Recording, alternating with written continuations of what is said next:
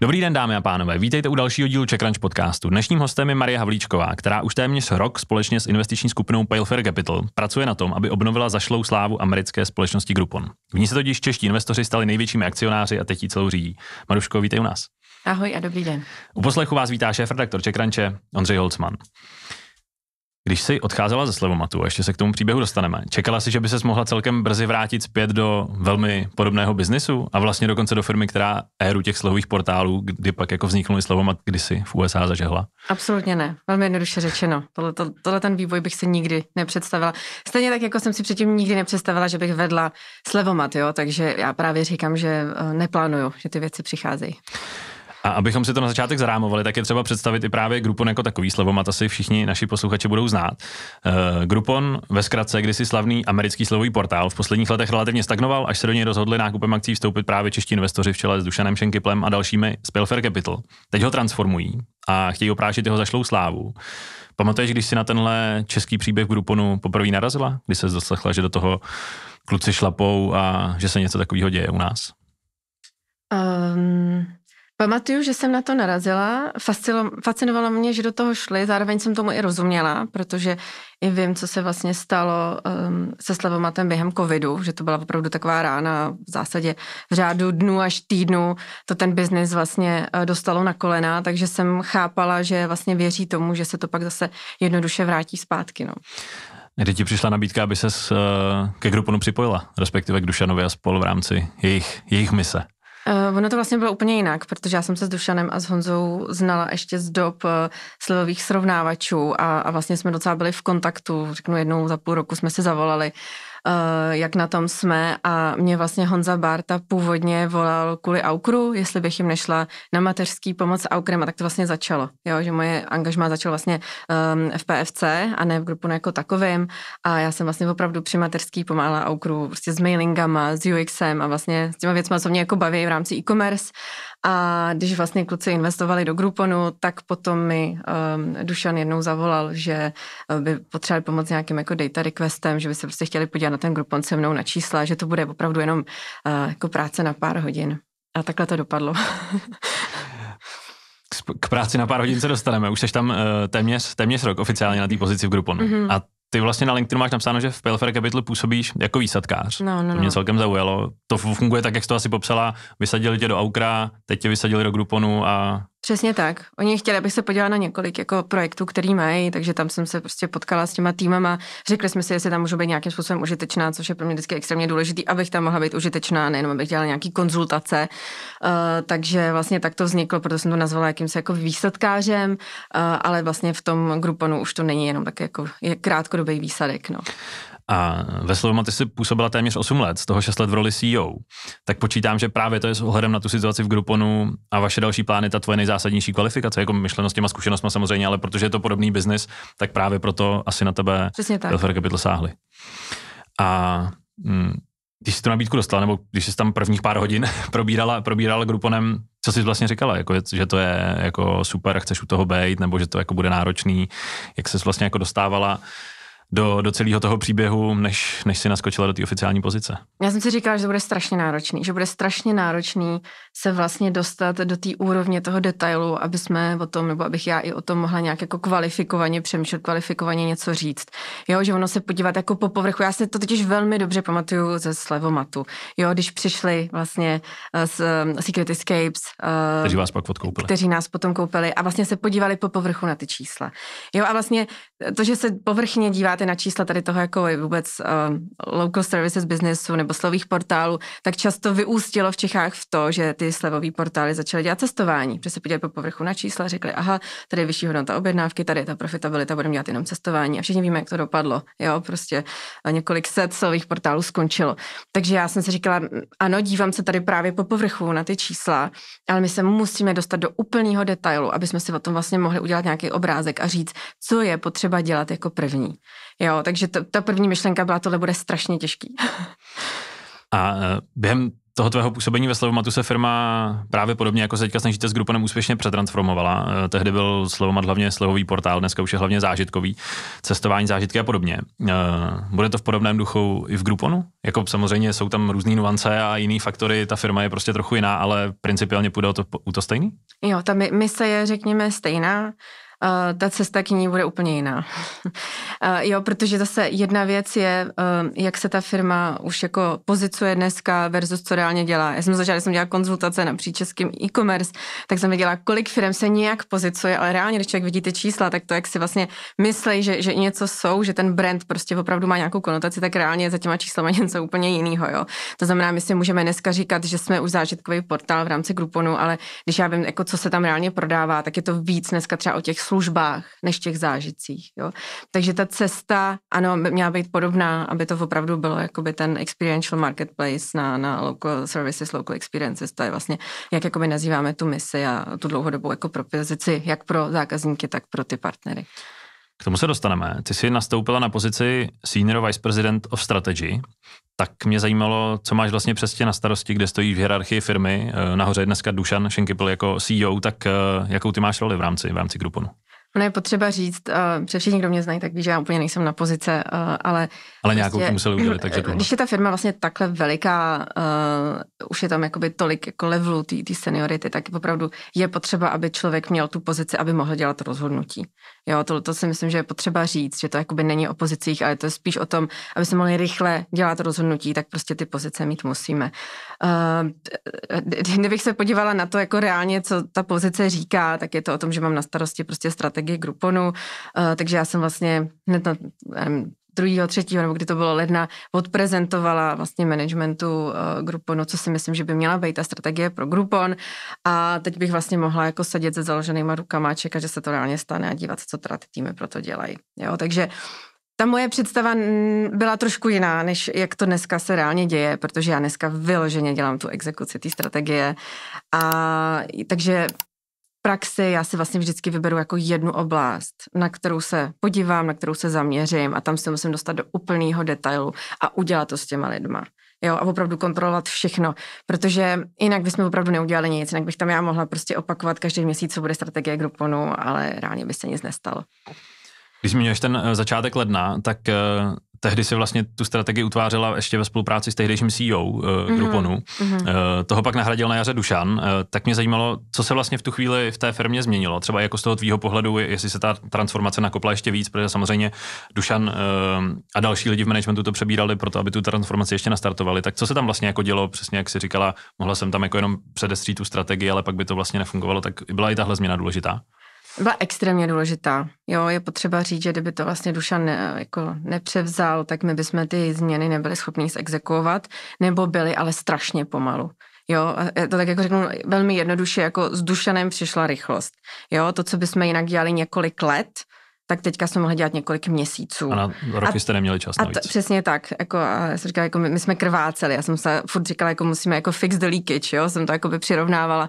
Říkala, jako to není o tom, že my si to tady nějak odprezentujeme, jo. Potom si prostě řekneme, co je teda ta propozice biznesu. Budeme dělat taky ty klasické věci, které by asi standardně firmy dělaly, když prostě um, by chtěli jako aplikovat nějakou novou strategii a pak ji exekuovat. A my jsme říkali, my potřebujeme opravdu začít strašně rychle konat. Jo, takže z toho důvodu my jsme to museli převzít. My jsme vlastně ty tři měsíce viděli, že se reálně, nechci říkat nic neděje, jo, ale spíš ta firma jede v těch zajetých kolejích.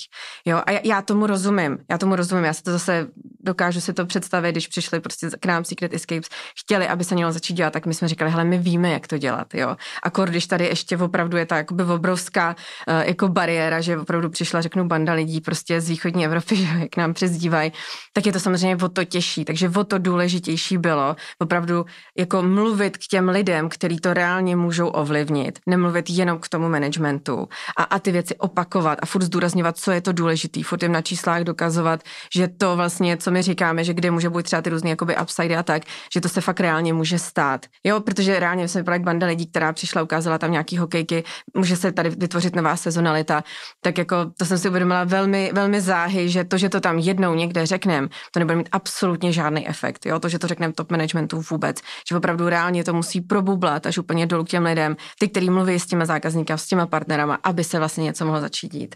Jo, a v tu chvíli jsme si uvědomili, že nás musí být hodně, jako v tom transformačním týmu. A tohle je hrozně důležitý. Jako kdyby tam byl Dušan, nestane se vůbec nic. Kdyby tam byl Dušan, já, nestane se nic. Jo, takže my jsme opravdu začali jako velmi urputně nabírat další a další lidi, kteří nám opravdu s tím můžou pomoct. Vyhrnou si ty rukávy a každou tady z těch oblastí, kterou my jsme jako identifikovali, že tam je nějaká příležitost, tak ji vlastně začnou mít na starosti. Jo, takže jako nás opravdu musí být, řeknu, jako desítky, aby se ta transformace pomohla. Proto teďka vlastně i strašně tlačíme na to, aby jsme k sobě našli co nejvíc jako podobně smýšlejících lidí, před díky tomu to dokážeme, jak my říkáme, urvat. To mě právě zajímalo, co se děje, když nastoupíš na tak vysokou pozici nebo prostě do managementu cizí firmy mm. a tvým nebo jako vaším úkolem je ji totálně proměnit, tak to musí být jako složitý na mnoha úrovních, jednak přesně přesvědčit i tu firmu jako takovou, že je ty kroky potřeba udělat, jednak jako rozpoznat, co je vlastně potřeba udělat. Já to řeknu na rovinu, bylo to extrémně frustrující pro obě strany. Jo, a já jako o, taky na rovinu řeknu, řeknu, že jsem vlastně v březnu chtěla skončit. Jsem říkala, tohle prostě, tohle je šílený. A to bylo vlastně těsně předtím, než to jako Dušan převzal. A, a pak to vlastně, pak se to konečně jako rozjelo. Jo, že předtím to bylo takový, že jsem měla pocit, že opravdu cokoliv těm lidem řeknu, tak se vlastně reálně vůbec nic nestane, uh, protože jsme prostě nemohli, uh, nemohli dělat ty rozhodnutí, nedělali my jsme reálně tu exekuci, furt tam byl prostě ten top management, který to řídil. Jo, takže ta, jako ta konzultantská role byla v zásadě úplně jako k ničemu. Jo, mě řekl, děkuji Marie, děkujeme za prezentaci, tak a pojďme, pojďme se dostat k dalšímu bodu na agendě. Jo, takže takhle to reálně vlastně probíhalo, tak jsem říkala, to vůbec jako nemá smysl, jako abych tady byla něco řešila, takže proto my jsme to museli přezít. To, to fakt nemělo cenu. Ty jsi uh, točí se tu odešla těsně před covidem, jak jsme se bavili před natáčením, doslova pár týdnů. Uh, byla jsi na mateřské, působila jsi jako konzultant v rámci mm. e-commerce a pak si vlastně naskočila do dalšího jako velkýho, velký náplň až v tom Grouponu. Uh, bylo to, jaký to vlastně bylo, jako jak jsi vzpomínala, tak to bylo ve Slavomatu, kde si řídila přesně tu transformaci, řídila si prodej Secret Escapes. Je to v Grouponu srovnatelný, co se týče vlastně jako různých aspektů, jako ta pozice CEO Slevomatu a teďka, teďka v Grouponu, hmm. je to jako rychlejší, je to vlastně úplně jiný, nebo je to trochu podobný? To se vůbec, tohle se vůbec nedá srovnávat. Jo, jako trh je úplně jiný, jinak velký, tým je úplně jinak velký. Já ty lidi reálně neznám. Jo, ve Slevomatu, já jsem s těma lidma vyrostla, ty lidi jsem si potom mohla k sobě vybrat, jo. Takže ty lidi jsem denně potkávala, to je další věc, jo, že já vím, že moje nejsilnější stránka je osobní kontakt s lidmi, oni mi to říkají, že se ke mně chodí pro energii a když tam teď sedím prostě za tím monitorem, tak jako to tam najednou není, jo. Takže vlastně to, tohle, jako tyhle ty dvě zkušenosti se absolutně nedají porovnávat, nicméně já z té zkušenosti ze Slamatu jako si hodně věcí, jako řeknu těch hodně failů, který jsme v tom Slamatu udělali, tak já vlastně už mám tu výhodu, že můžu říkat, hele, tohle bychom měli udělat jinak, protože tady jsme se jako ve Slamatu spálili, jo, takže v tom uh, se z toho můžu něco brát, ale jinak tohle jako naprosto neporovnatelný, jo, to prostě, když jako, jako ještě když jste na burze a tak, jo, máte opravdu jako omezenější možnosti, co reálně s těma lidma můžete řešit, jak je výst, jak dělat ty rozhodnutí zase, je to, to se nedá porovnat. A do toho přichází ten faktor, který už si teďka nakousla, že je ta firma rozesetá doslova po celém světě. Hmm. Velkou část má samozřejmě v Americe, pak taky velkou část v Indii. Teďka stavíte, řekněme, jako evropská, evropská střediska, tak uh, není možné se sejít na jednom místě. No, no, no. Jak jste se s tím vlastně jako popasovali v tom managementu? Třeba Dušan vlastně zůstal, zůstal řídit firmu na dálku z Prahy, Jirka Ponrt jako ano. finanční ředitel se přestěhoval do Chicaga, všichni to tak nějak jako zvládáte, ale jaká byla ta realita, když jste vlastně jako do té firmy nastoupili? Vlastně jste ani nemohli někam přijít a přesně všem to říct, museli jste se všema volat.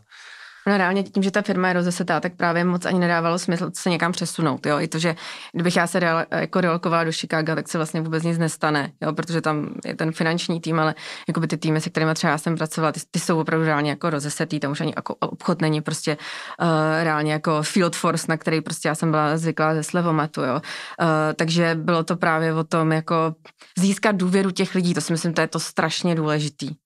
Jo, protože já vždycky říkám, jako, že procesy nahrazují důvěru, takže aby jsme opravdu nemuseli nasazovat procesy na všech frontách, uh, tak bylo jako hrozně důležité získat důvěru těch lidí, ale co nám jako velmi pomohlo, uh, a, a to jde samozřejmě za Dušanem, já tomu říkám jako asanizace firmy, jo, kdy on opravdu dokázal tu firmu během jako dvou týdnů asanizovat, to znamená, že začali používat prostě projektový nástroj Asanu, jo.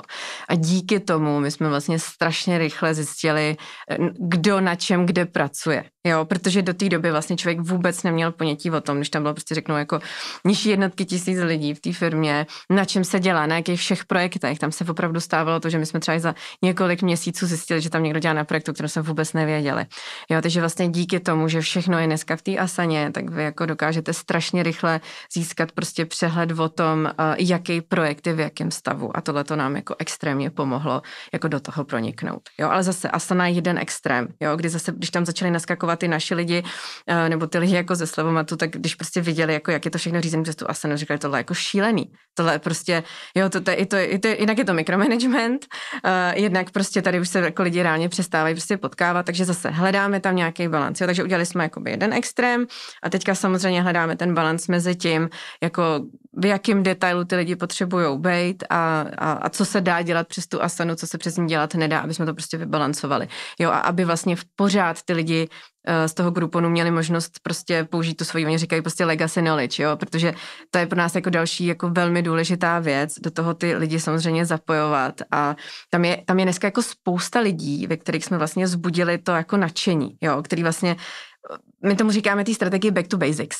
Jo, to není nic nového, to není raketová věda. To je o tom, že děláme ty věci, vlastně, který začal historicky ten Groupon dělat, ale pak se to trošku, řekněme, jako dostalo na, na jinou cestu, uh, co se, uh, jakoby při té exekuci, uh, ale je to vlastně jako back to basics, takže my jsme tam jako našli strašně moc lidí, kteří vlastně v sobě jakoby zbudili znova tu energii a chtějí vlastně nám pomoct. Jo. A teďka zase, jak no, řeknu, rozstřídit si ty lidi na ty, kteří opravdu to knowledge mají a je potřeba, než vykopneme jakýkoliv projekt, od nich jako získat, versus lidi, kteří spíš vám, jako řeknu, kladou jako ty překážky do té cesty.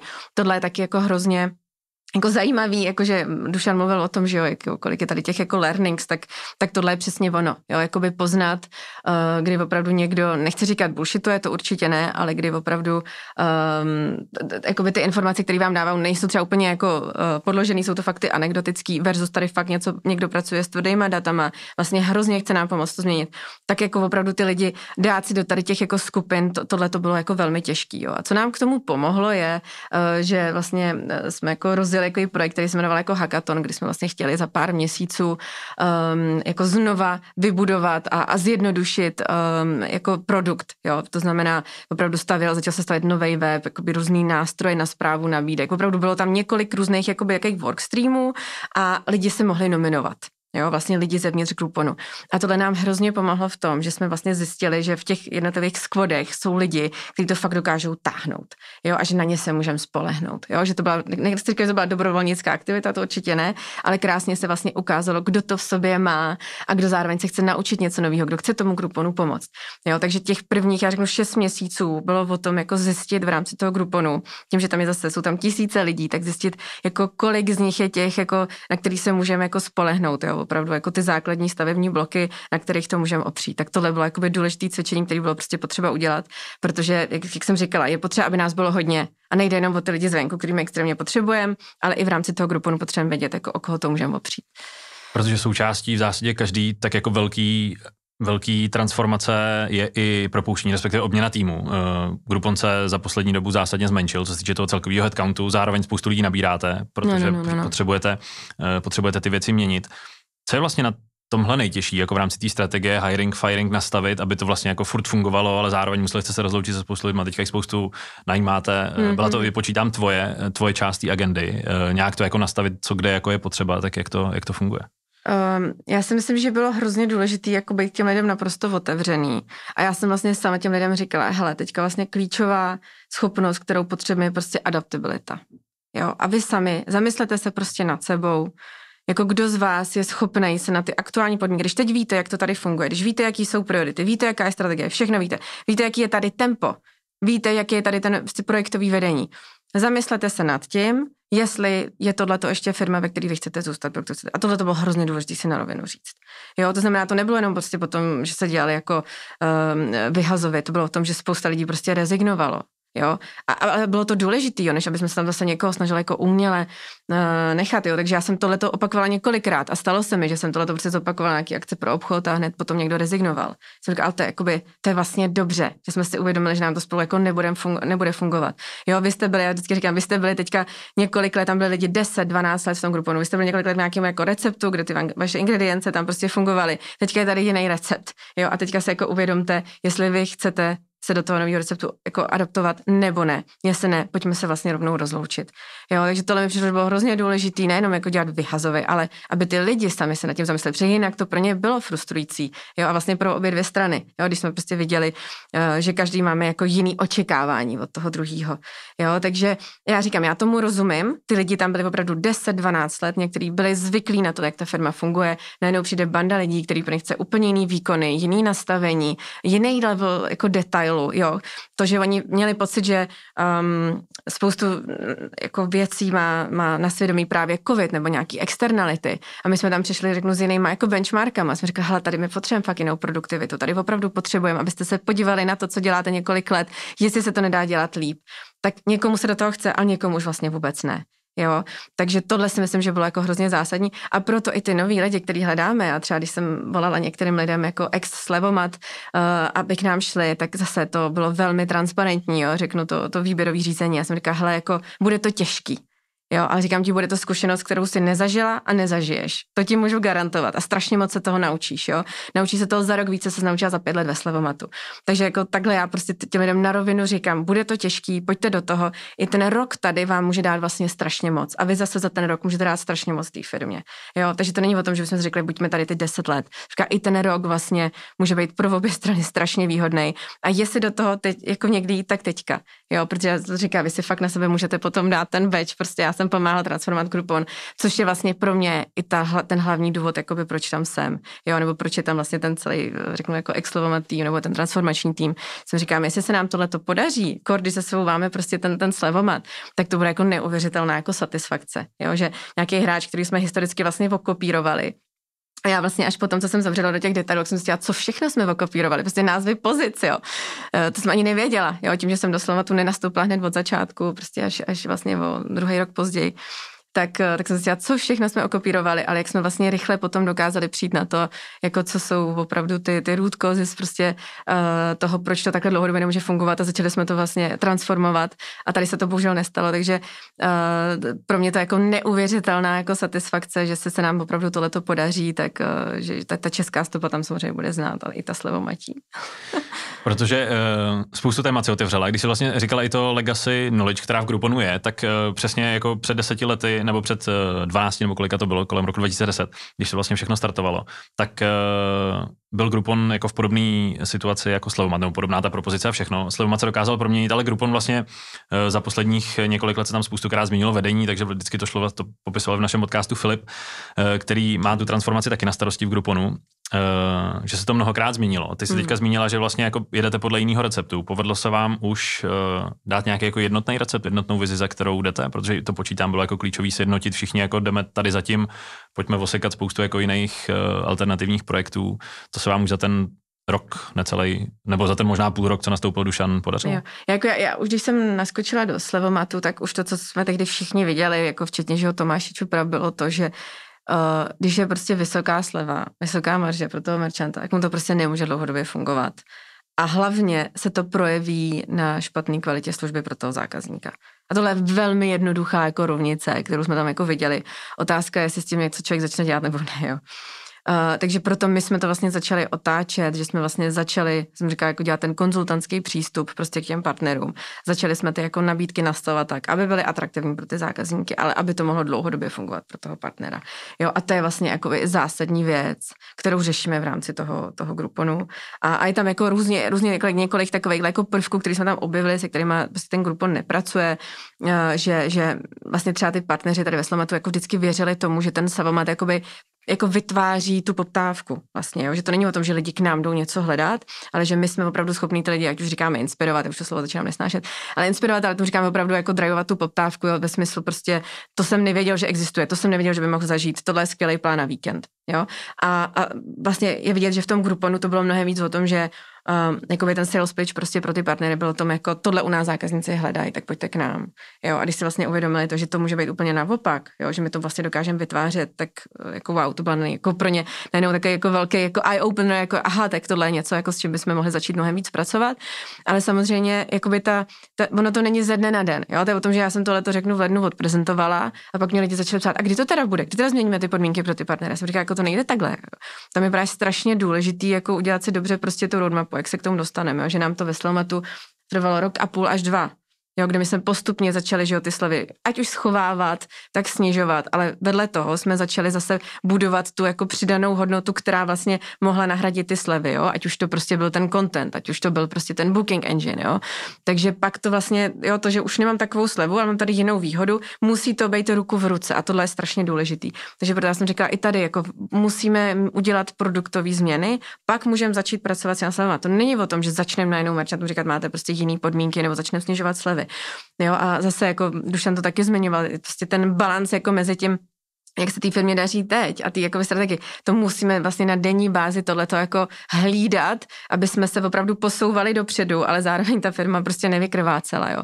Takže tohle je jakoby strašně těžký, uh, jako řeknu, na denní bázi tady tyhle ty rozhodnutí dělat, ale, ale co pro mě bylo jako klíčový uh, z toho, z toho klíčový lednik, jako z toho slevomatu, jako dělat opravdu tady ty kroky postupně, jo. Takže proto já třeba teďka mám z velké části na starosti um, uh, jakoby ten gifting, nebo vůbec jakoby tu dárkovou propozici, pozici.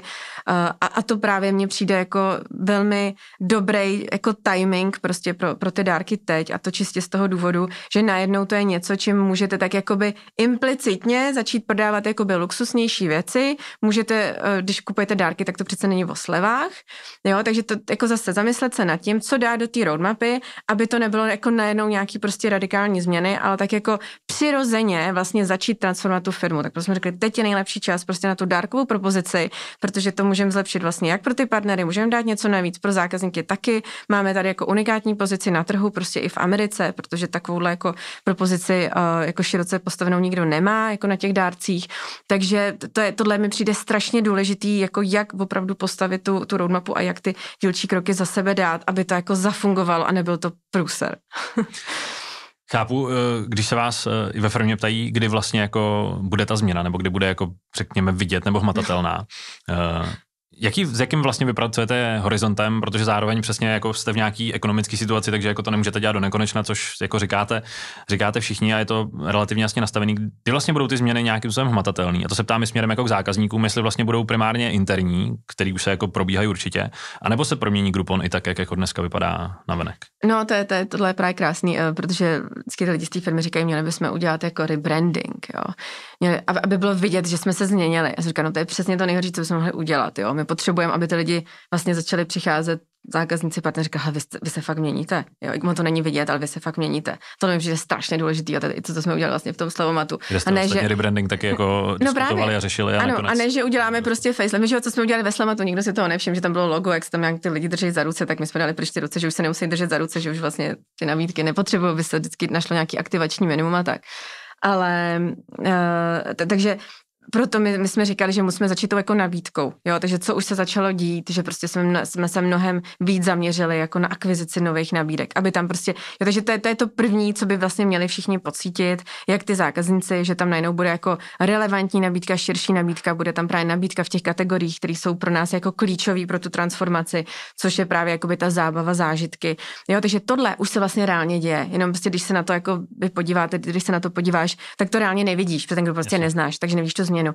Jo, ale paralelně se samozřejmě pracuje právě třeba na jakoby úplně novém webu. Jo, takže to bude prostě potom takový, jako bude to takový trošku velký jako Big Bang, že najednou prostě bude úplně nový web, prostě řeknu od začátku do, do konce, od homepage po, po checkout, uh, ale, ale klíčový je vlastně, jaká ta nabídka je, v jakých městech ty nabídky jsou, což je taky velmi, velmi důležitá věc, jako uvědomit si, že tam vždycky musí být opravdu ta kritická masa. Jo, takže zase na který trhy má smysl se prostě v první fázi zaměřit, uh, protože tam se řeknu ta to, to naše úsilí jako nejvíc hodnotí. Jo, když budeme mít prostě random nabídky po celém světě, tak se vlastně vůbec nic nestane, i když zvýšíme jejich počet. Jo, takže my jsme se jako od té kvantity, aby bylo hodně nabídek, jsme se hodně zaměřili na to, jako co ta jednotlivá nabídka prostě přinese, co přinese zákazníkům, co partnerům. Jo, takže se zaměřujeme jakoby i na tu curation, zaměřujeme se na to, jak je ta nabídka strukturovaná. Jo, a takže to jako šlo to od té jako kvantity, té kvalitě. Jo, že dřív to bylo vlastně hodně od jako expanzi a tím pádem i o počtu těch nabídek. A teďka vlastně, když jsme šli do toho jako detailu, jsme říkali, hele, tohle to jako nedává přece pro někoho smysl. S tím tam nemůžeme mít nabídky, které se prostě neprodávají. Pak to nefunguje ani pro merchanty, prostě, ani pro zákazníky, samozřejmě ani pro nás. Jo. Takže tohle to jsou takové jako kroky, které už se dějou, jsou tam vidět prostě už řeknu krásné výsledky. Uh, právě říkám třeba v těch kategoriích, které jsou pro nás důležitý, jo, což jsou právě ty zážitkové cestování a tak. T- takže ale navenek to vidět není. Jo. Myslím, že první velká věc uh, bude právě ten nový web, že se řeknou, aha, Groupon se změnil Jo, ale proto my jsme to neudělali jako by první věc. První věc byla opravdu zaměřit se na tu nabídku. Zároveň pro vás je určující to, co si uh, myslí, nebo myslí investoři, jak volí, nebo jste prostě veřejně obchodovatelná firma na burze. Jak moc je to změna třeba i pro tebe osobně? Musíte prostě dodržovat nějaký guidelines, nemůžete říkat všechno, musíte jet v těch kvartálních jako, mm, obdobích, byť třeba ne nutně, tak ale prostě jsou ovlivňovaný tím, že se reportují výsledky. Uh, jak se s tím popasovala? Nebo jestli to vlastně bylo, jestli to je zase tak zásadní pro tebe, nebo v úvozovkách to za stolik jako neřešíš v rámci té pozice? Nebo tak jako dřív jsem byla zvyklá na to, že jsme byli jako vždycky extrémně jako transparentní, prostě uh, k lidem ve firmě. Teďka vlastně nemůžeme úplně komunikovat jako všechno, jo, veškerý trendy, veškerý prostě čísla, uh, jak se daří biznesu, tak bohužel to nemůže být tak transparentní, jako to bylo dřív, ale prostě stejně jakoby ty trendy a úspěchy jako komunikovat můžeme a o to je důležitější je komunikovat, jo, takže proto my jsme vymýšleli prostě různý kanály kanály, jak těm lidem vlastně ukázat, že se ta transformace daří. Jo, takže ať už ukazujeme prostě partnery, který se k nám podařilo prostě uh, dostat, nebo kteří jsou vlastně jako uh, spokojení prostě um, s tím, jakoby, co prodávají na Grouponu, tak i právě ty dílčí jako produktové věci. Jo, takže jako o to intenzivnějc musíme ukazovat, že se ty změny dějou, aby to ta firma viděla. Jo, takže pro mě je spíš jako mnohem důležitější uh, ta komunikace dovnitř, teď, než ta komunikace ven. Jo, protože já říkám, my to furt jako ještě pečeme, jo, takže proto není tak důležitý to vypouštět. Samozřejmě je to důležitý, ale mnohem kritičtější pro mě je vlastně, aby ta firma pochopila, že ta, ty změny se dějou a jsou pozitivní. No. A navenek vůči investorům to je pak navíc na Dušanovi s Jirkou Panertem v rámci jejich konferenčních kolů s investory. Um, vy všichni mluvíte o tom, a ty už jste taky dneska zmínila, že je to hodně o rychlosti, se hmm. kterou je třeba postupovat. Daří se vám tu firmu měnit tak rychle, jak byste chtěli? Nebo jako sam dáváte si nějaký jako krátkodobý, dlouhodobější cíle, tak jde to tak rychle, jak byste chtěli, nebo třeba jenom v některých ohledech někde to jako trochu víc drhne, byť jste třeba čekali, že to bude jednodušejc? Tohle je strašně zajímavý téma. Uh, my, když jsme do toho naskočili, tak vlastně jako Dušan potom, když to převzal, tak to byl, tam byl obrovský tlak jako na rychlost. Jo. Furt tam bylo jako musíme tlačit, musíme tlačit, ať to jde prostě rychlejc. Ale když si prostě, vlastně, když si člověk představí jako tu pipeline, se tomu říká, že i pipeline, ale jako pipeline jako to potrubí, kde je ale vlastně několik vstupů, no tak co se stane, že jo, když všichni tlačí ze všech stran, ucpe se to, jo. To znamená, nám se reálně stalo to, že jsme to ucpali a nestalo se potom vůbec nic. Jo, nebyly ty výstupy. Takže my jsme dokázali tlačit, aby to bylo rychlé, aby se ty změny děly, aby tam byli lidi, kteří to mají na starosti, ale pak samozřejmě vždycky člověk někde narazil na nějaký jakoby úzký místo, kvůli, ať už to byl prostě, že jo, vývojový kapacity, nebo to byly kapacity nějakého člověka, nebo to bylo prostě nějaký jakoby úskalí toho systému, jo, té platformy, na kterých jsme. Takže spousta prvků a tím, že my jsme nebyli v tom detailu, nevěděli jsme úplně, jak to funguje, tak se reálně stalo to, že se to ucpalo a, a úplně jsme nedoručovali ty výsledky výstupy tak, jak jsme chtěli. To znamená, teďka jsme přešli k tomu, že jsme si vždycky vybrali, co je právě ta důležitá věc na to daný období a to se prostě musí stát. Jo, a tam, aby jsme to doručili, tak děláme, řeknu, první, poslední, jo, kdy si fakt musíme jako vyhrnout ty rukávy a jít to s těma lidma dělat. Jo, takže když teďka prostě uh, dělám třeba jakoby ten gifting s tou, uh, s Lindou Vavříkovou, která zakládala Allegri, tak ta, snažíme si fakt brát ty lidi, kteří uh, jsou ty jako největší specialisti, bych řekla, jako ve svém oboru, uh, tak my opravdu si večer v noci voláme a, a řešíme designy ve Figmě, jo? Jako opravdu člověk musí do absolutního detailu, jo? Aby to opravdu tě, jako Protože my jsme přišli s tím, jakoby, jaká má být ty strategie, my jsme přišli tady potom s těmi danými prioritama a ty lidi se vlastně často jako snaží to udělat dobře, ale prostě ta naše vize tam byla jiná, tak proto vlastně my to reálně musíme jako často odřídit. Jo, takže to je jako velký learning, který jsme tam prostě měli, uh, že jako tlačit všude a všechno prostě absolutně nedává smysl, takže je super, že my máme už jakoby zmapovaný, na jaký všechny ty oblasti bychom se měli zaměřit. Je jich tam třeba mnohem víc, než jsem znala ze Slovatu, před těch příležitostí na tom americkém trhu je mnohem víc. Uh, ale, ale musíme si to přesně dávkovat. Jo, a, a všechno prostě rozkládáme na skoupy, na fáze. My jsme říkali, tady uděláme tuhle jedničku a než uděláme tu dvojku, dáme tam tohle. Jo, a tohle to si říkám, jako to je fakt jako manažerský mistrovství, který se tam teďka musí dít, uh, aby jsme to zase neucpali. a hmm, Groupon je mnohem větší biznes než Slevomat, nebo logicky prostě funguje ve Spojených státech, v Evropě i čísla jsou, čísla jsou větší. Je to v rámci té transformace spíše výhoda nebo nevýhoda, než kdyby třeba fungoval jenom v jedné zemi. Já chápu, jako, že to je kdyby, hmm, ale hmm. spíš jako tak, jak se na to dívá, že je to vlastně jako samozřejmě větší komplexita, ale jestli vám to spíš pomáhá nebo spíš nepomáhá. Je to, je to komplexnější. Jako nebudu říkat asi pomáhá, nepomáhá, protože jako na všech těch trzích, kde jsme, vlastně by ta příležitost byla, kdyby na ní byla kapacita, jo, když to řeknu úplně na rovinu. Um, takže pro nás bylo spíš zase důležité si uvědomit, co jsou ty jako hlavní trhy, na který bychom se měli v první fázi zaměřit, uh, protože tam může být jakoby ta největší příležitost, jo.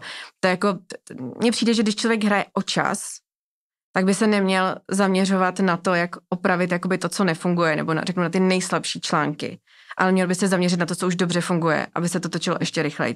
Jo, to je taky pro mě obrovská zkušenost ze slevomatu, takový to zaměřujete se spíš na ty zákazníky, kteří vůbec nenakupují, anebo na ty, kteří už nakupují, aby nakupovali ještě víc. Jo, tak tam my se teďka musíme vlastně dostat a to, co už dneska funguje, ty, kteří jsou dobrý, tak zase tím, že hrajeme o čas, tak potřebujeme, aby tam to zafungovalo. A díky tomu zase se naučíme něco, co pak použijeme, řeknu, na těch nejslabších, kde to nefunguje. Jo, ale zaměřovat se teď, řeknu, na ty, kde vlastně je spousta různých jako problémů, eh, ne, nebo vidíme, že tam prostě je potřeba vyřešit víc věcí, eh, aby se to rozjelo, tak by byla velká chyba tady to leto začít opravovat. Jo? Takže my paralelně samozřejmě se zaměřujeme na to, co bychom mohli udělat, ale klíčový je, což jsou právě eh, ty třeba ty americké trhy, jakoby i tu Ameriku si opravdu rozdrobit na několik prostě zón, na několik regionů a tam si říct, tady prostě potřebujeme uspět, protože když tady uspějem, tak díky tomu vlastně dostaneme nějakou jakoby trakci a, a budeme moc se potom v klidu, řeknou víc, zaměřovat i, i na ty další trhy. No. A když se na to podíváme klidně z trochu jako vyšší perspektivy, jaký pro tebe byly největší překvapení? Jakože tak nějak jako vlastně cokoliv, co tě, co tě jako napadne, když se na ten rok ohlídneš, chápu, že toho asi bylo jako spousta, ale jako, že si řekla, hmm. jo, tak tohle jsem fakt nečekala, že je to takhle, musíme to změnit ať už v rámci biznisu, ať už v rámci lidí, ať už vlastně v rámci jako čehokoliv, hmm. co ti ten rok naučil tady v tom. Jako ty, jakoby ty styla, já jsem vlastně ani neznala moc ten pojem sila, uh, korné ze slevomatu nebo jako od Secretu, jo, nebo z žádného jako e-commerce businessu, do kterého jsem jako nahlídla pod pokličku, tak jsem nezažila, že by opravdu ty lidi jako by jeli v těch silech, jo, a že já když dělám jednu oblast právě v rámci jednoho trhu, tak vůbec nevím, co vlastně dělá člověk ve stejné oblasti v jiném trhu. A že vlastně, kdyby my jsme si třeba jednou týdně zavolali, tak to zrychlíme, jo, tak se ty věci zlepší. Jako to bylo jako neuvěřitelný, jo, jako takže jednak ta sila, eh, potom ta právě ta jako assembly linka, jo, že každý si opravdu dělá svoje a to, že už to tady padá někam jinam, to už já neřeším, protože tohle je moje. Což samozřejmě prostě to je jako asi trošku, uh, že vlivem té korporace, kde už prostě každý má tu svoji agendu, jo, takže já jsem zase byla zvyklá na to, že i když mám svoji agendu, vždycky vím ten big picture. Tady jsem viděla, že ty lidi opravdu řeší to svoje. Jo, takže to bylo velký překvapení a jako to Breaking the Silos bylo jakoby první věc, kterou jsme začali a, jako se, a, a to je přesně, když se bavíme o těch úspěších, tak tohle se fakt daří. Jo, že ty věci se globalizují. To globalizace je jaký vošklivý slovo, ale tady se to právě globalizuje v tom pozitivním slova smyslu, že ty jako opačné strany světa se spolu začaly bavit a, a hrozně se jako najednou jako inspirovat. Jo. A, a i že jsou tam vlastně teď lidi, kteří to mají na starosti vždycky jakoby tu strategii nebo metodologii a, a, a pak jsou nějaký jako dílčí že jo, a, um, odlišnosti jako na těch trzích, ale že prostě ta strategie nebo jak k tomu přistupujeme by mělo být stejný. Takže tohle, to by mělo, tohle bylo pro mě obrovský překvapení. A pak bylo pro mě i velký, jako zase řeknu pozitivní překvapení, jako by ta ta, ta firemní kultura, kterou Groupon, nechci říkat teď má, ale kdysi měl a my z ní vlastně furt můžeme čerpat, jo. Že to jako, jako když ta firma asi předpokládám byla v té růstové fázi, tam musela být famózní jako eh, firmní kultura, jo, to, co jsme se vždycky snažili budovat v tom Selmatu, tak tam opravdu je zažitý pojem, že prostě jako bleeding Groupon green, jo. jo že vždycky tam je prostě fakt jako krvácím zeleně. A, a to je jako, to, to, to, je strašně silný, takže tam, když ty lidi slaví ty různý výročí, že jsou tam prostě 10 let, tak vždycky to, to je prostě člověk, který prostě jako uh, Bleeding Group on Green. A, a jako to muselo být hrozně, hrozně pěkný. Takže zase ty lidi, se kterými dneska pracujeme, tak o to víc vidíme, jak oni se to snaží právě zachránit, protože v sobě tohle mají. Když jsme mluvili, nebo když jsme měli nějaký úspěchy, co se zatím povedlo, jsou nějaký jako neúspěchy typu, že jste si zpětně viděli, řekli, hele, tohle jsme udělali blbě a budeme to dělat tak. A logicky samozřejmě v té transformaci toho musí být jako relativně dost jsou jako věci, co se povedou nebo Jestli jako něco, co, co lze vlastně jako už teďka identifikovat říct, hele, to bychom udělali jinak, kdybychom věděli to, co víme teď. Já myslím, že to už jsem zmínila, protože jsme prostě tlačili na, na několik projektů zároveň, aby se událi a vlastně se nestalo nic. Jo, nebo se prostě jako vydali takový jako nějaký uh, úseky jenom toho, uh, co, co jsme vlastně chtěli reálně udělat, ale zase jako Dovedu si představit, že firma tohle zjistí po dvou letech. My jsme to zjistili po dvou měsících. Jo, takže, ale jo, je to, byl to určitě za mě jako, nechci říkat jako neúspěch, ale velká zkušenost, že takhle to právě nejde. Jo, že opravdu si to musíme víc dávkovat. A když zmíněš tu uh, sílu, jako historickou sílu Grouponu nebo té značky, uh, že krvácí uh, všichni zeleně a podobně, tak si zmiňovala i jako třeba ty debaty o tom rebrandingu, nebo to asi nebylo jako, že by to bylo někdy na stole, ale prostě objevovaly se. Cítíte, že Groupon má pořád sílu, jako ta značka, která prostě kdysi byla ta slavná, teďka to není tak slavný, ale ví zase chcete udělat, pomáhá vám to v tom biznesu? Um, to byla vlastně jakoby první věc, na kterou jsem se dívala a když jsem se jako rozhodovala, jestli do toho jít nebo ne, tak bylo jako jaký partneři s náma spolupracují. Jo? Protože můžeme jakoby stokrát si jako plánovat, jak udělat jako transformaci na zákaznickou stranu, jak zoptimalizovat marketing a tak dál.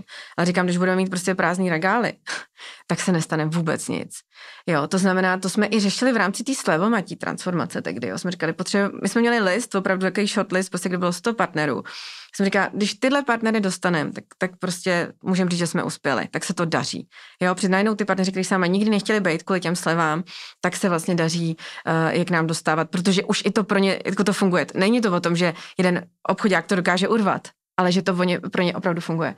A když jsem vlastně viděla, jaký partneři uh, jsou na tom, řeknu, našem shortlistu, jaký do toho začíná jako naskakovat, i teď právě, co vidím jako na tu uh, dárkovou sezónu, tak si říkám, no to je super, jako, tak se to podaří. Jo, že to pro mě je vždycky jako nejdůležitější známka toho, jestli se ta transformace může podařit nebo ne, jestli máme ty partnery. Jo, jak moc je musíme přesvědčovat versus, že opravdu uh, na tom gruponu chtějí být. Takže proto věřím, že ta značka sílu má. Takže nehledě na to, jak roste nebo se vyvíjí naše jako zákaznická báze, tak stejně musíme vždycky začít tou partnerskou a jako tam vidím strašně jako dobrý známky toho, jako jaký řetězce, jo, prostě to, že s námi prostě spolupracují KFCčka versus, že s námi spolupracují Michelinský restaurace, jo, že, že prostě v Americe, jaký s námi spolupracují pracuju řetězce, tak, eh, tak to vím, že se to může povíst, tak proto jsem říkala, jdu do toho.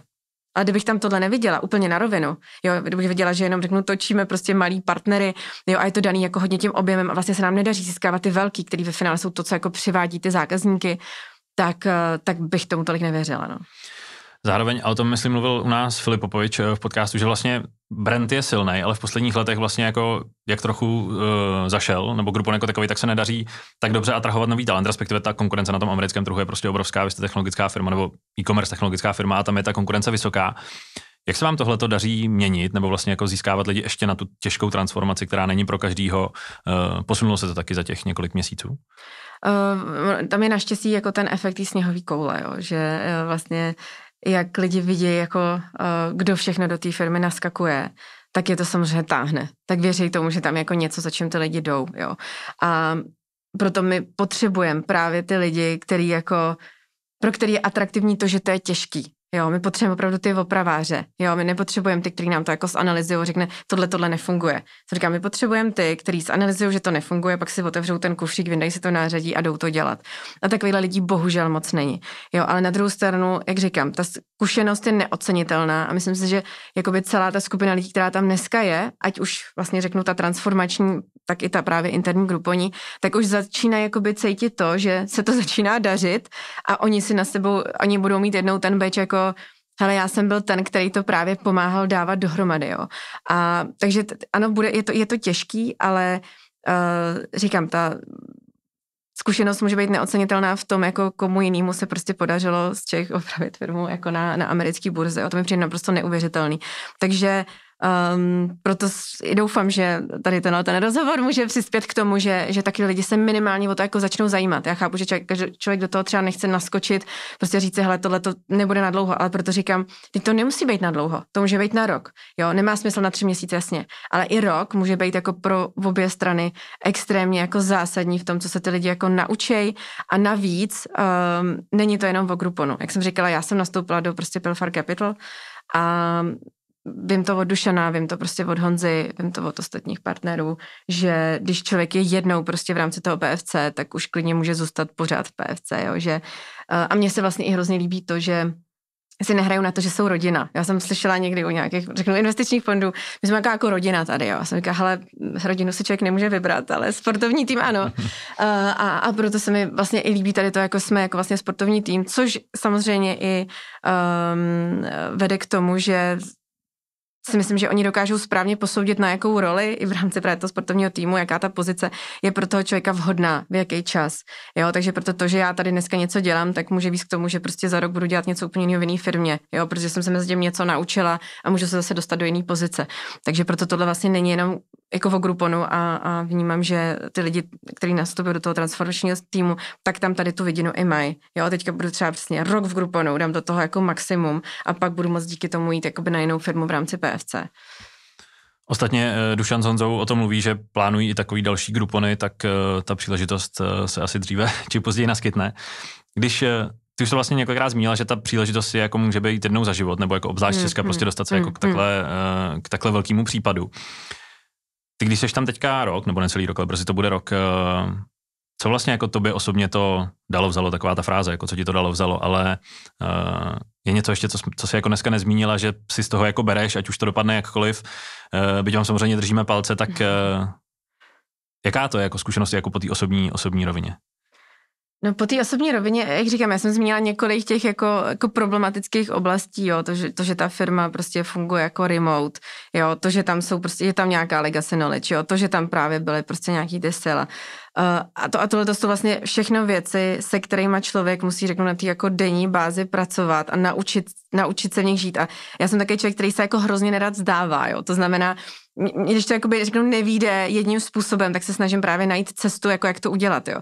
Takže mě, mě to jakoby dává, nebo co mě to dalo, mě to jako vzalo i dalo, jo, protože co mě to vzalo, jako je, řeknu, nějaký jako asi osobní čas, nebo prostě dalo mi to i nějakou jako právě frustraci, jak jsem o tom mluvila, prostě samozřejmě jako krátkodobou, ale na druhou stranu člověk se jako naučí pracovat úplně v jiném prostředí, než byl zvyklý. Jo, že my jsme třeba taky, když jsme se snažili dostat, eh, řeknu, tu dárkovou propozici do lidí a já jsem si říkala jako, a to tam furt není. Těch obchodníků to furt není. My jsme to tolikrát řekli, furt jsme jim ukázali prezentace, všechno. Já, já si myslím, že oni to furt nepobrali. Jo. To, to, to jako zavání tím, že my to nezvládneme. Říká, pojďte všichni do Dublinu. Jo. A prostě opravdu jako šéfka Salesforce zorganizovala prostě obchodní summit v Dublinu. My jsme tam přijeli a bylo to úžasný. Jo. Byla tam úžasná energie. Takže i to, že člověk dělá takový jako, řeknu, jako nestandardní třeba rozhodnutí, najednou něco udělá jako vlastně strašně rychle, tak mně přijde fantastický, že vlastně v tom gruponu člověk může. Já říkám, jako reálně my tam můžeme dělat, co chceme. My opravdu, ty, my máme mandát dělat tady tyhle jako rozhodnutí, když za nima prostě stojí, proč to děláme, co to přinese a podobně. Jo. Takže tohle to, říkám, to, co mě to dalo to, že dokážu ty rozhodnutí uh, vlastně dělat kvalifikovaný mnohem rychleji, než jsem třeba byla zvyklá ve Slovmatu jo, a rychleji se prostě učit z těch chyb a zkusit zase něco jiného. Jo, takhle to nefunguje, musím to dělat jinak. Jakože i tady ta jako kreativita, invence je vlastně strašně důležitá. Jo. Když něco nezafunguje, tak neříct jako, hm, tak to nechám být, prostě tak se na to vykašlem, ale ne, musíme najít cestu, jak prostě ty lidi do toho dostat, jak tohle to udělat. Jo, a to mě na tom přijde jako extrémně jako zase dobrý, že vlastně v tom týmu, který tam dneska je, tak my jsme každý úplně jiný. Jo? Že třeba Dušan říká, že já a Filip Popovič, že nemůžou být víc odlišní lidi, jako já s tím docela souhlasím. Mně se s Filipem dělá strašně dobře. Jo, a tohle mi přijde jako dobrý, že tam je i taková jako sebereflexe, že člověk ví, v čem je dobrý, v čem je špatný a ví, že tam v tom týmu máte lidi vlastně, se kterými řeknu komplementární. Jo, a, a tohle je taky velmi unikátní, že často ty firmy se vybírají, do, nebo lidi do těch týmů, ty lidi, kteří jsou podobní, a my se s nimi dobře dělalo. My si schválně vybíráme lidi, kteří, ne, kteří jsou jiný než my, se kterými víme, že se nám nebude dělat úplně jednoduše, ale že mají zase něco, co my tam nutně potřebujeme dostat. Takže zase musí tam být právě ta sebereflexe, to jako neustálý se snažení uh, jako vybalancovat ten tým a, a vůbec ten jako management těch týmů tak, aby to jako dohromady fungovalo. Tak tohle si myslím, že se taky Jako je to velmi výjimečný, nikdy jsem to vlastně nezažila, že by byly takhle odlišné osobnosti v rámci toho týmu a dokázali spolu fungovat. Zároveň najímáte uh, v Americe, najímáte v Evropě, uh, call centrum máte v Indii, což ale trošku asi jako oddělení od toho hlavního, hmm. hlavního biznesu. Dokázali jste identifikovat, že třeba ty americké týmy, byť jsou jako taky samozřejmě mezinárodní, ale jako jsou lepší, jsou lepší na něco, evropský jsou jako lepší na něco jiného, nebo je to prostě jako napříč a je to podle toho, jako, kde je kdo zrovna na co je dobrý? Jo, jo, jako není to jestli jako úplně lepší, horší, ale, ale co vlastně zase, když to tak řeknu úplně upřímně, co má v ten daný moment jako, eh, kde jako největší hodnotu, jo, teď myslím prostě i, i pro ty lidi, ale hlavně prostě pro tu firmu. To znamená, co se třeba ukázalo, že prostě ty obchodníky samozřejmě potřebujeme mít v Americe, a to se i snažíme, aby jsme opravdu měli v terénu, jo, což je prostě něco, že, co Groupon opustil někdy v roce 2015. My ho tam teďka vlastně zpátky vracíme, že chceme mít prostě obchodníky v terénu, jo, opravdu, který jako zaklepou na, na dveře. A, jako Protože dělat... ve jste měli taky v terénu. Ano, jako ano, ano, ano, jo, a t- t- takže t- tam jsme zjistili, že to prostě jako můžeme, můžeme mít nějaký samozřejmě hybridní modely, jakoby na všech frontách, vždycky část dělat tam, část tady a zase tohle je pro nás zrovna taková jako zkušenost, kde ne, nechci říkat pokus omyl, ale kde se vlastně snažíme zjistit právě co kde může nejlíp fungovat. Jo, uh, pomáhá tomu samozřejmě i zase nějaká třeba, jako řeknu, segmentace. Jo, třeba segmentace partnerů, kdy vy víte, že prostě tyto partneři opravdu musí být servisovaný těma lokálníma lidma, versus když máte nějaký jako long tail, vlastně se kterým moc nepřijdete ani do kontaktu, tak to samozřejmě může být servisovaný někým jiným. Jo, takže pro mě je ta segmentace obecně jako obrovsky důležitý téma, aby jsme ty věci jako nedělali plošně, ale aby jsme dělali i tedy i ve vztahu k zákazníkům. Jo, prostě je tam samozřejmě uh, nějaká jako hodnota zase toho partnera, toho, toho zákazníka a podle toho by měl mít prostě danou péči nebo, nebo právě i měl by to být určitým způsobem lokalizovaný. Takže takhle my s tím pracujeme a to si myslím, že zase ta cesta jako najít ten balans a neříkat všechno pro partnery se bude dělat v Indii, jo, to, to by prostě za mě zase byla jako cesta do pekel.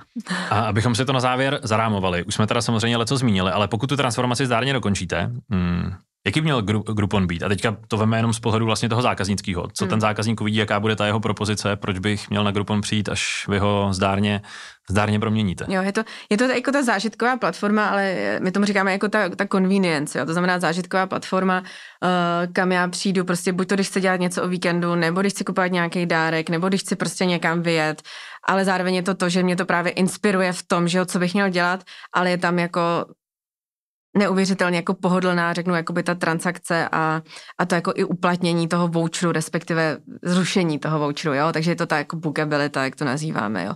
Takže to, že se ten zážitek můžu vlastně strašně, že ho můžu strašně rychle jako skonzumovat uh, ve smyslu, uh, že ho fakt jednoduše koupím, jednoduše uplatním, tak tohle to tam vlastně nezbytně musíme dostat, jak už jsem o tom mluvila, aby jsme mohli upozadit prostě ten, ten jako efekt té slevy, nebo jakoby tu důležitost té slevy, tak tam musí být nějaká hodnota navíc. Jo, takže my už to teďka třeba začínáme dělat, říkáme jako destination let, takový projekt uh, a, a to znamená, že než aby jsme jenom ukazovali, jaký je ten hotel třeba vevnitř, tak fakt ukazujeme, co je vlastně v okolí. Jo, a, a to je přesně ta cesta té inspirace, kterou jsme dělali i v tom Slavomatu. Takže dneska ten třeba travel fungoval hodně jako, uh, jako booking.com a my z toho opravdu chceme dělat více jako ten Slavomatí model, že já když tam přijdu, tak ano, můžu se tam zabukovat jako na bookingu, ale zároveň vidím spoustu těch různých destinací, které jsem vlastně ani nevěděl, že existují, jo, takový to jako hidden gems. Tak tohle to mi přijde něco, co, eh, kde můžeme mít opravdu jako tu unfair advantage a, a, a kde můžeme vlastně uspět, protože nikdo to nedokázal takhle poskládat dohromady. Jo, že my vidíme na tom americkém trhu, že tam je jako zvlášť bookabilita, zvlášť jsou tam prostě ty inspirační stránky, ale aby to bylo vlastně všechno poskládané jakoby na jiné platformě, tak to tam není, takže toho chcem dosílit. Tak držíme ve vaší misi palce a až se třeba příští rok potkáme, tak uvidíme, zda už Groupon bude transformovaný a zda ty jako výsadkář Pilfer Capital už nebudeš třeba na nějaké další misi. Díky a ať se daří. Díky.